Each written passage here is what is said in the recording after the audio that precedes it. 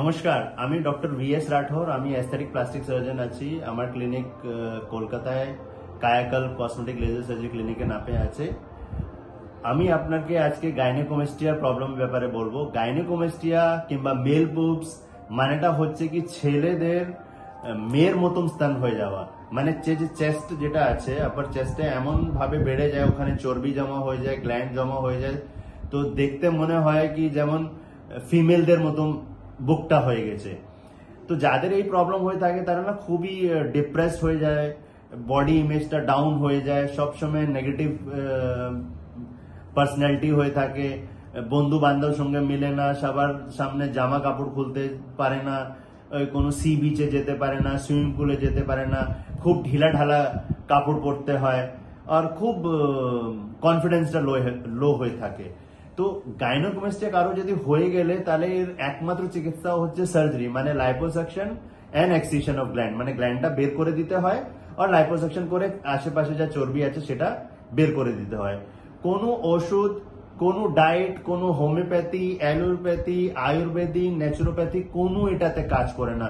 কোনো যদি আপনি স্পেসিফিক কোনো জিম ভর্তি হন আর জিম ট্রেনারে যদি গাইডেন্সে থাকেন, তারা অনেক কিছু বলে কি এইরকম এক্সারসাইজ করলে এটা চলে যায়, কিন্তু এগুলো সব মিথ আছে। টোটাল মিথ্যে আছে। কোন রকম এক্সারসাইজ কোন রকম ডায়েটিং করলে, কোন রকম ওষুধ খেলে গাইনোকোমেস্ট্রি একবার ডেভেলপ হয়ে গেল, কোনোদিন যায় না। আর এই গাইনোকোমেস্ট্রি মেনলি প্রবলেম কেন হয়? যখন আমাদের অ্যাডোলিসেন্ট এজ হয় মানে বারো থেকে চোদ্দ বছর বয়স হয়, সেই সময় হরমোনসগুলো বাড়ে। তো মেল হরমোনও বাড়ে, আবার ফিমেল হরমোনও বাড়ে। তো ফিমেল হরমোন যে ইস্ট্রোজেন থাকে, তার জন্যই এই গ্ল্যান্ডটা ডেভেলপ হয়। বেশিরভাগ ক্ষেত্রে কি হয় কি, সেটা কয়েক বছর মধ্যে রিগ্রেস করে যায়। কিন্তু সাম পার্সেন্টেজ অফ লোকের কি হয় কি, এটা আরও ডেভেলপ হতে থাকে। তো এমন ভাবে ডেভেলপ হয়, কারও দেখবেন কি অল্প সোয়েলিং থাকে, কারও একটু বড় থাকে, কারও এমনও হয় কি, একদম ফুল ফ্লেজেড ফিমেলের মতন ব্রেস্ট হয়ে থাকে। তো কারও এই প্রবলেম থাকলে তাহলে আপনি লজ্জা করবেন না, ভয় পাবেন না। আপনি আমার ক্লিনিকে যোগাযোগ করবেন, আমাকে হয় ইনস্টাগ্রামে ফলো করবেন, নাহলে আমার কায়াকাল চ্যানেল সাবস্ক্রাইব করবেন।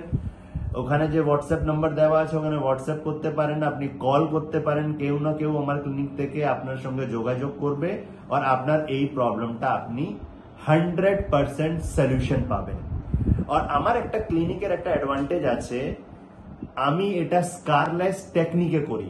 মানে কোনো ছিদ্র স্কার দেখা যায় না যখন হিলিং হয়ে যায়। সেকেন্ডলি এটা আমি লোকাল সাথে করি, যেটাকে বলা হয় টিউমিসেন্ট ইনফিল্ট্রেশন অ্যানেস্থিসিয়া পেশেন্ট পুরো জ্ঞানে থাকে, আসবেন অপারেশন করাবেন, সঙ্গে সঙ্গে বাড়ি চলে যাবেন। থার্ডলি আমি কোনো ড্রেন ইউজ করি না। অনেকজন দেখবেন আপনি এগুলোতে ওই ড্রেনেজ মানে ব্লাড আর সিরাম বের করার জন্য ড্রেন ইউজ করে, কিন্তু আমি কোনোদিনই এই জিনিসটা ইউজ করি না। আর যেই হিসাবে আমরা টিস্যু হ্যান্ডেলিং করি, তো এর কোনো প্রয়োজন হয় না। অ্যান্ড ইমিডিয়েটলি প্রত্যেক পেশেন্টকে গাইনোকোমেস্টিয়া সার্জারি হয়ে যাওয়ার পরে আমি প্রেশার গার্মেন্ট দিয়ে দিই। তাহলে স্যারোমা হেমাটোমা এইগুলো ফরমেশনের চান্স একদমই থাকে না।